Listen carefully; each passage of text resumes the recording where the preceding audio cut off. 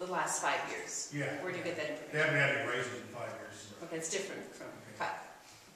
Uh, no, they haven't had any fi- pay raise in the last four years, and that's correct. And I think probably, uh, most of the businesses across the state who are laying off individuals and certainly not considering pay raises are in the same situation. I don't think that when we are losing government jobs, um, 400 alone in the month of November is a time for us to start giving pay increases. I know the proposal from the LFC is a 1% pay increase, and that is not included in my budget.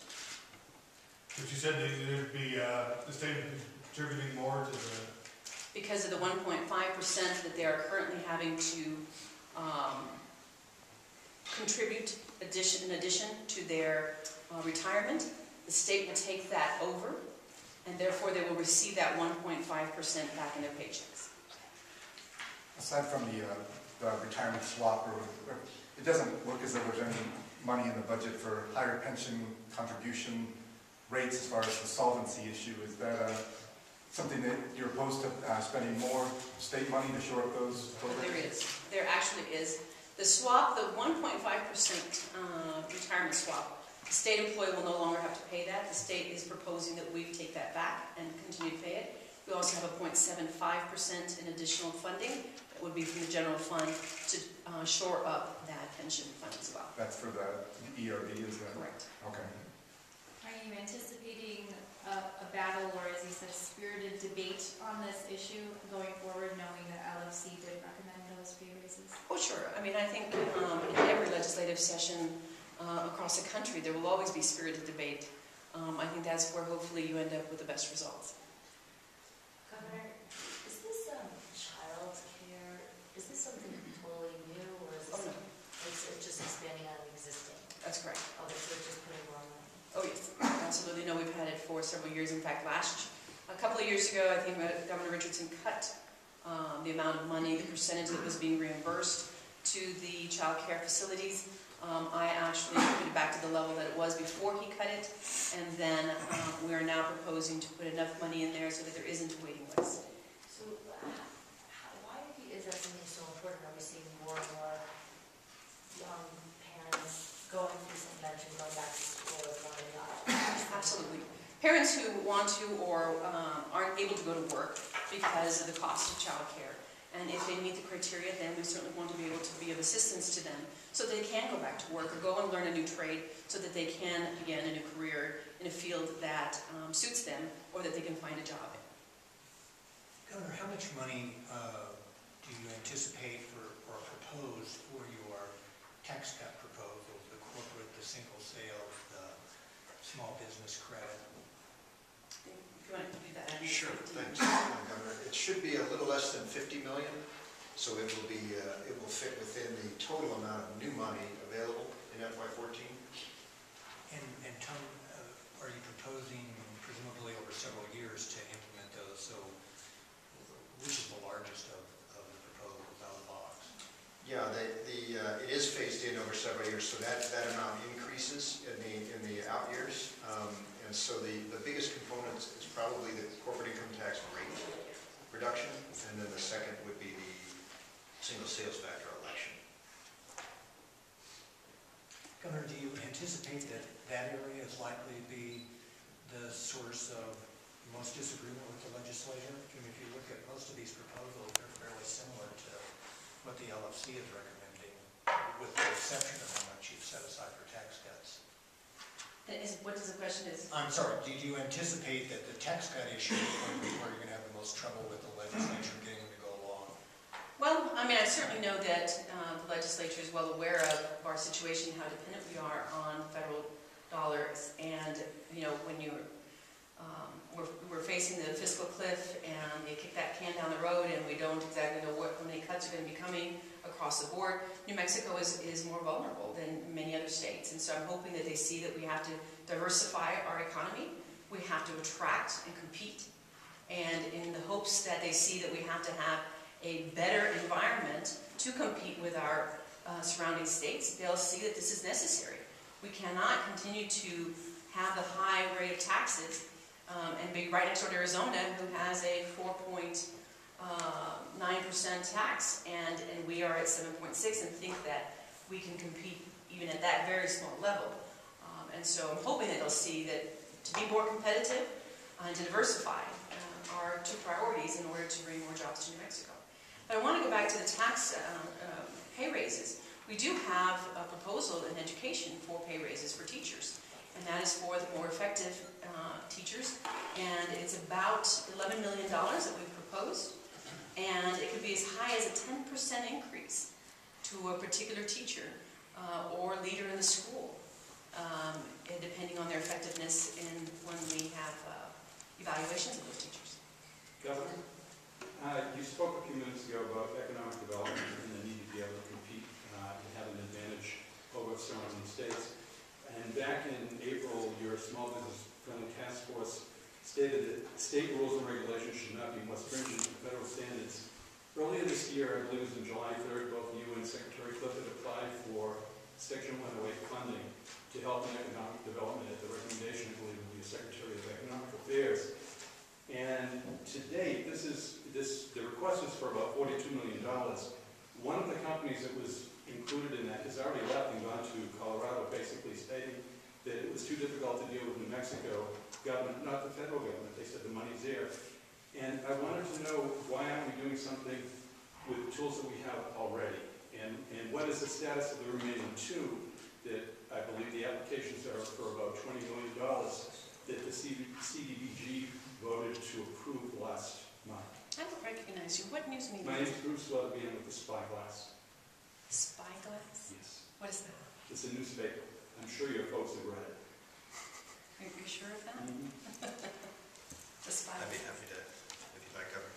Thanks. Sure. Yeah, that's a, the Section 108 is a new program from the Housing and Urban Development uh, Department in uh, Washington.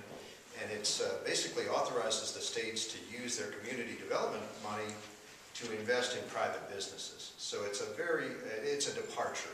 It's a totally new Other states have used it for years now. So it's a totally new type of program for New Mexico. Never done this before. So in fact, it has taken some time to roll out the rules and regulations and so on. But it's got, we've got to be very careful about it because we're giving money in a, essentially a pretty risky environment when you're talking about brand new startup companies that we're taking away potentially from our community development funding. So we've got to be very careful as it's really, the feds didn't really provide new money, they just reallocated existing money. But couldn't you use that money that you, were- you're looking to do economic development to ensure that so you don't have to expose the state? Uh, And, and actually, Gerard, it's been my understanding, talking to people who've worked with these programs elsewhere, that the twenty, say you approve the twenty million dollars for those two remaining companies, that leaves still twenty-two million dollars that working with local New Mexican banks could actually pull in about hundred million dollars in economic development for small businesses. Yeah, that, those are pretty speculative, but the, the point is, we are moving ahead with the program. We have, we have awarded two companies funding under the program. When I talked to folks in the last few days, they indicated they're very nervous and they don't, they, Yeah, I the don't, one company that left and it's opening its doors in about two months said that it was too difficult to deal with the state. I can just tell you, twenty million has been awarded to two different companies, and again, it's something we've got to be, keep a very close eye on if we don't want the money to, to be wasted. Governor, Governor, the eleven million dollars plus for uh, teachers, which you're proposing for school staff, that is what is typically called merit pay. That's correct. Do you expect to fight on that one with the legislature? Well, I hope not, because I hope that um, we're putting our kids first, and if we're connecting the progress of our children in the classroom, and our most effective teachers are being connected to that progress, why wouldn't we want to reward our best and brightest to recruit the best in the country to New Mexico? So, oh, and the LFC report, that's right, if you'll share with the- them the LFC report that just came out recently. Not only is there um, good research that we need to change, how we evaluate, if you look at the Gates Foundation just issued in this last week a new report talking about the importance of evaluating our teachers based on improved student achievements and observations in the classroom, which is exactly what we're doing. Uh, In addition, we saw the LFC report both in 2009 and 2011, just this last year, saying something's not working and how we are aligning our pay or lack of alignment of pay with improved student achievement. So we've taken a long look at both research and our local uh, research and the Legislative Finance Committee, and we expect a good partnership around um, paying our effective teachers and school leaders up to $7,500 in one single year increase. So is that the only way that they would be evaluated, the teachers, based on the student improvement? Um, No, thank you for asking. Um, The new evaluation system we're piloting this year and implemented next year, aligned with this new budget proposal, is based on improved student achievement over a three-year period, um, whenever possible, and also another 50% based on observations and locally defined measures. So it's a very robust and very um, extensive multiple measures that go into an evaluation. So, ma'am, uh, Robert Nelson, from Mexican, I had my hand up because I'm in a public school, so I thought that would help. So, Secretary, then how much of it right now is a based on the test scores, which everybody's worried about, the teacher about? Um, Right now, we have 50% based on improved student achievement, so we're looking at progress over time, not a single test score. And 35% of that is based on our standards-based assessment, which just within the last week, yet another report came out and ranked us 15th in the nation when it comes to our standards and assessments.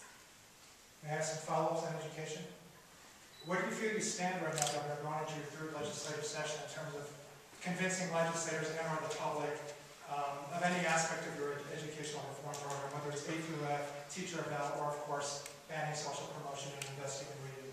Well, certainly we have um, been successful at passing legislation in grading our schools A through F. Uh, I think what- as I've traveled throughout the state, um, there's such a clear understanding by all of the students and the teachers and the community um, as far as where they stand as students and as a school, and the pride that takes place um, when they understand or the request for assistance. And that's why some of our funding certainly goes towards those schools that are lower achieving, so that we can close that achievement gap. Because now they're identified, and now we know exactly where to put those funds in. As far as the bill for um, the reading initiative, last year we asked for $12 million for the New Mexico Reads to Lead, and the legislature did award us $8.5 million. That's how we were able to hire reading coaches. We deploy them throughout the state, and we have 2,000 teachers who have now been trained on us and assisting them to teach children how to read. Um, This year, we're asking for $13.5 million. That will meet the request that has been made thus far statewide. It will meet the need that has been requested thus far by school districts throughout the state. And we want to meet that need. They've seen the success, and so the request at this point is 13.5. We're hoping that the legislature will see that need. Because we don't want to retain children in the third grade. We want to make sure in that Reads to Lead program that they're reading at the level they should in the first grade, and before they leave that first grade, they're prepared for the second. And from the second on to the third. So that we don't just take a snapshot for the first time ever in the third grade, and then realize they're not reading at the third grade level, now we're going to hold them back.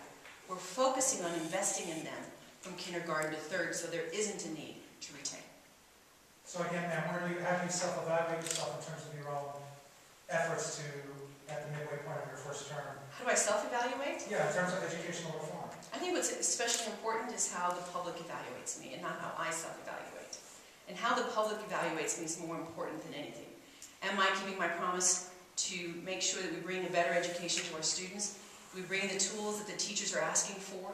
Do we give them the funds that are necessary for them in the classroom to teach?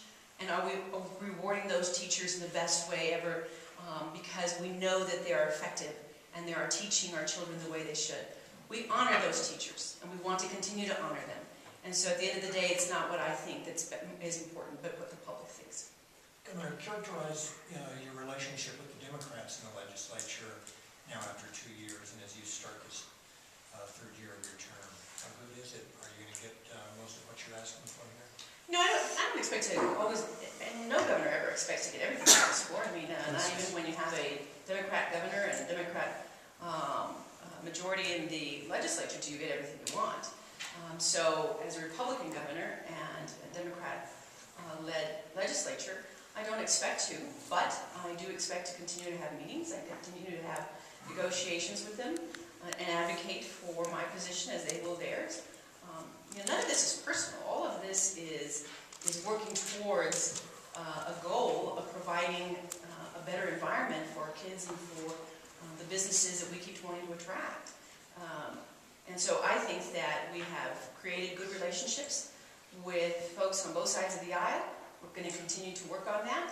Um, And I have um, great confidence that, being that they've just ran for office, they've been in the community, knocking on doors, listening to folks and what they want to see happen, um, that they will listen to their constituents and, and, and go forward. You don't- You don't have any concerns that uh, last year's election may have poisoned some of your relationship with at least some legislators? No, I mean, uh, every election um, is a spirited election. Every election, uh, maybe they're not used to having a two-sided kind of uh, debate on the record of, of, of, uh, you know, candidates, but um, it's an election. And so what do you do but point out the differences between candidates? And then you let the folks decide and vote where they want to vote. Um, I don't think that it is poisoned. It's, none of it is personal. All of it is based on um, you know, a voting record, and, and I think that uh, people should stand by their voting record and do so proudly.